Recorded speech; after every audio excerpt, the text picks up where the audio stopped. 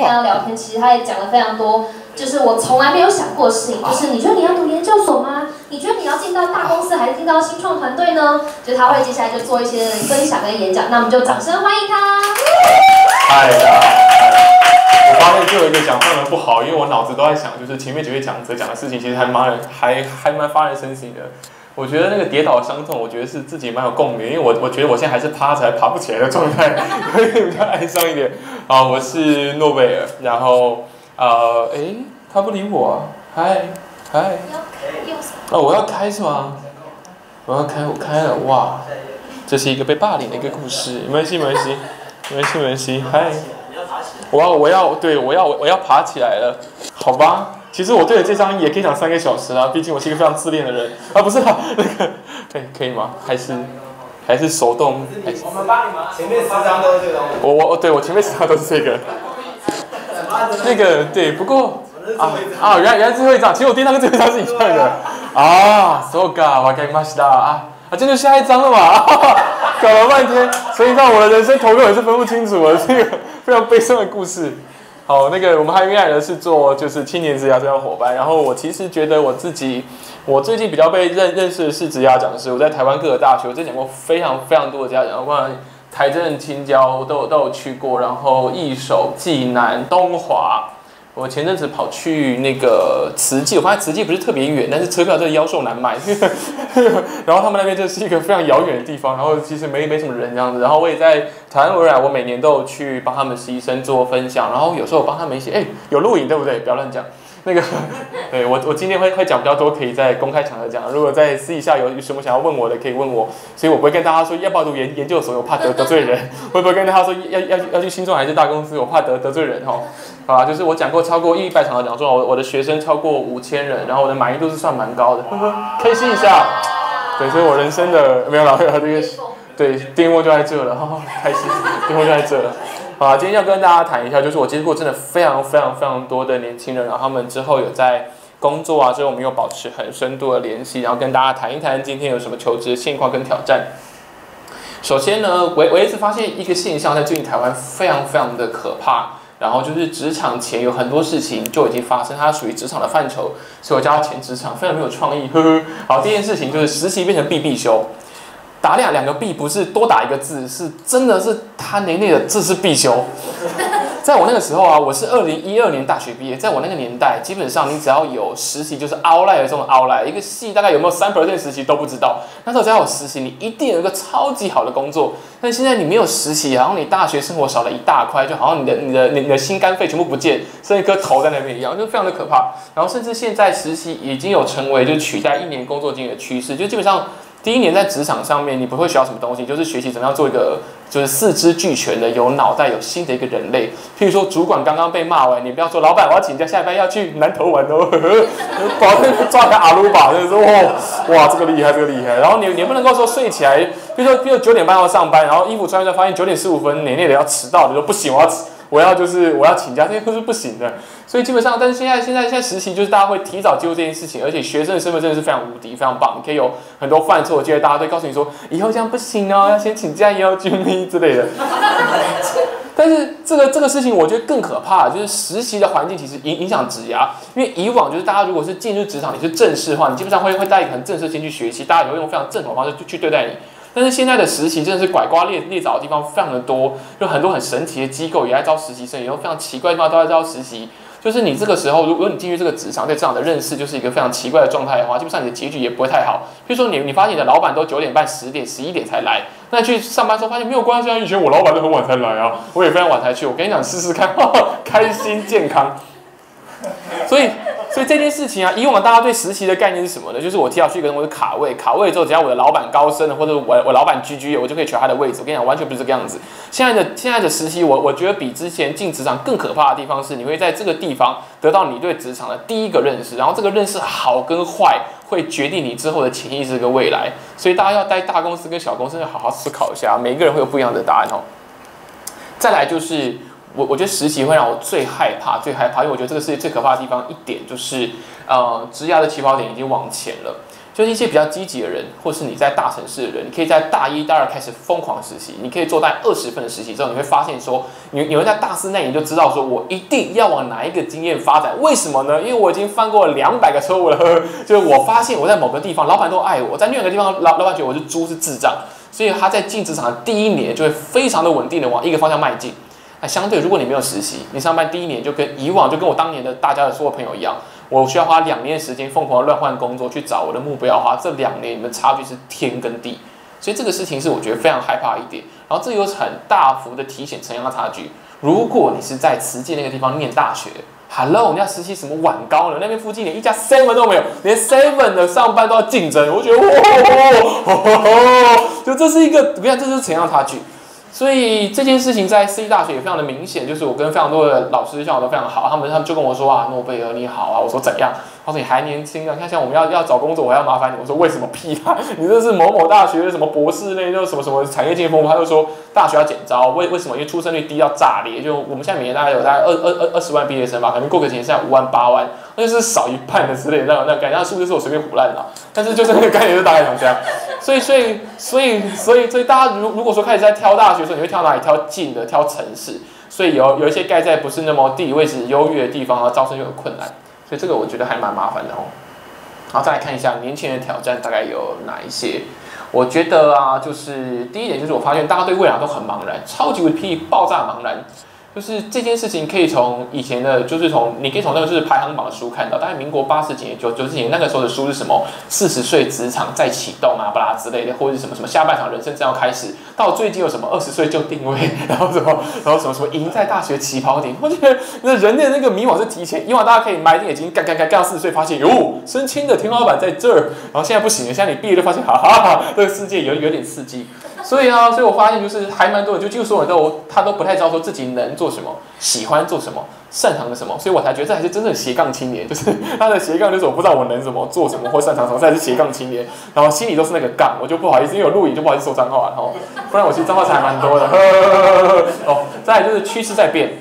就是如果最近两两三年大家有关注就是新创的话，就会发现每一年的那个趋势都在变。前几年什么什么什么三 D 列印啊，可以印人的肝脏，我很厉害哦。然后然后他会 demo 给你看，我可以印牛肉肝出来，哇，帅呆了！现在谁在讲三 D 列印？现在只有三十二 D，没有，还是没有，就是没有没有没有，就是有有录影，不要说奇怪的话哦。就是有些就趋势又在变，然后前阵子又又有又有干嘛？然后最近开始什么大数据 AI，然后在我就是做职场这边最明显，就是前几年大家都跟我说，老师我要进入我要做 marketing。有什么东西好做？然后前几年发现说我要做 R&D，我要做工程师。最近说老师我要做大数据的，哪里有可以做大数据？我说这个我真的不知道，我我知道哪里树很大，就是 大树大树，你把它聚在大数据也不错啊。林务局缺人啊，林务局啊，哦，但是这个东西真的就很尴尬。所以以往啊，其实你那个地方是还蛮准的，就大家说要往哪个地方去，大概就往那边去。但现在不行了，那个风向很乱，所以也不知道发生什么事情哦。再就是有显著的产学乱问题，非常极显著的。包含你在职场上的应对进退啊，出进赚钱、请假加班、求职找工作，然后你要转职干嘛的？有很多人不知道怎么离职，他就干脆在他决定离职的第二天不去上班了。我觉得哇，这个这个厉害啊，这个哇，这高干啊，这个哇，这是这这这这是救援控管呢。你不要老板，老板不放你没关系，让老板放弃你，哇，这个很厉害，这个很厉害，这个很厉害哦。啊，当然我都把最重要的放在最后面了，就是我觉得求职的基本功是大家最忽略的。基本上现在乱弄也有工作嘛，新鲜人嘛，大家都觉得大家什么都不会，所以基本上闭着眼睛都有工作找。但这个工作好跟不好，跟你未来用什么样的心态面对这个工作，怎么样去做自己的求职，就会非常非常非常重要。但是今天好像没什么时间，我会跟大家再说一下。好了，再来看。为为什么求职的观念自己要进步也很难呢？是因为资讯很博大，错误有很多，很多人得到好的工作，关键的原因不是因为他求职很好，是因为他爸很厉害，然后他爸厉害到会让他觉得这都是他儿子自己的成就，然后这些人就出来大放去的时候，我跟你讲，履历就是要做花花绿绿的啊，怎么样漂亮青春，还会觉得有活力，你试试。如果我爸不是郭台铭，你试试哦。那就世界变很快，老老观念基本上还蛮失败，基本上现在的求职的概念，大概两年三年就会转一轮。就是因为产业也也在变，求职方式也在变，录取人也在变，未来产业也在变，所以基本上是会不太一样的。然后我觉得最难过的一点就是，一直以来求职都是属于精英人士的，那种写好的履历啊、高级面试技巧啊、什么特殊的猎人头啊，都只是给否精英的，所以只有精英才有人管，这件事情非常的哀伤。基本上你只要像我在台湾跑嘛，我觉得只要中资北以下的同学，通常对自己的未来是觉得随便的。我觉得说，why？就是我觉得你功课都很好啊，就是你就你你你基本上都是有个很好的未来。他说没有啊，都是给那些都你们台大、政大的啊、青椒的去弄就好，然后我们去给你们拼什么屁屁什么小，我就觉得不是啊，不是这样的。但是我觉得是还蛮难难过一点哦，所以我们还应该就做这三件事情啊。我们就在就学前帮大家找个好的实习，哦，然后帮你毕业时候准备好的履历，然后告诉你说，在未来三年里面你应该怎么样经营的好的人生。然后我们大概做的服务就这这些啦，就是我们帮你做最专业的履历，专业真的是对的。我我们履历真的是超难填，因为你填的一个好的履历真的不容易。但是要做这么专业的内容来说，我们家的服务还还是算非常好的哦。然后另外呢，就是这一点就是呃，根据需求才做，我们要帮大家做一个现场的 portfolio，就是因为我发现人资很想做一件事情叫做人肉，他会去 Google 大家的名字，看找到什么碗糕。所以最容易找到什么，你知道吗？大家在高中的时候综合活动拍的影片，哇，超级雷！你觉得在那边做一件很神奇的事情，然后塞目光，呃之类的，然后就非常麻烦。或者不然就是你有被大家 take 做一些奇怪的事情，所以我们就做这个，就让大家很好的可以搜寻得到，可以见证你的就是现场的资讯。大家回去可以做一件事情，拜托，马上把你的 Facebook 改成一个越奇怪的名字越好，什么好寂寞啊，抽的是烟啊什么的，然后赶快创一个本名的 Facebook，本名新的 Facebook，然后把好友关起来，然后开始分享。什么商业周刊啊、数位时代啊 那种文章，哇，就是一个时代青年的有没有？三十秒建立一个网络上 Google 地的概念哦，非常重要，差很多哦。然后我们当然也有在帮忙做，就是正职实习跟一些讲座培训的活动。然后履历工作坊也有持续的在做，履历跟面试都有持续在做。然后我们也有在做线上课程，就帮助一些其他孩子也可以。看，然后我们其实赞助还蛮多，就是偏乡的孩子，可能你你只要有，反正只要有任何的证明，什么你爸妈觉得家里很穷，付不起什么，我们都让你免费。所以，我们其实也也也算是一个社会企业。后来才发现，非常的伤心。哦，好了，建议大家几件事情，最后三分钟，建议大家回到自家根本，履历，履历真的他妈重要。就是履历，其实写履历这件事情不只是求职而已，而是说你在为了求职这件过程，跟你对职业的思考跟反思什么东西。你有没有读过决定？你知道决定什么吗？决定就是职缺描述嘛。虽然今天没有很多时间讲，但是你有没有研究过你下一份工作的决定是什么？如果你没有研究下一份你要干嘛的话，你怎么知道你在现在这一份你要经营什么东西？你要做出什么样的好的成绩，才会让下一份弄？很多人说我未来想要当一个行销的人，但他现在在做业务，然后他已经做了五年业务，觉得我累积很好的行销底。Hello，那是骗术，你累积的是业务的话术，你要往 market 也不一样的，OK，不一样的，那是不一样的事情哦。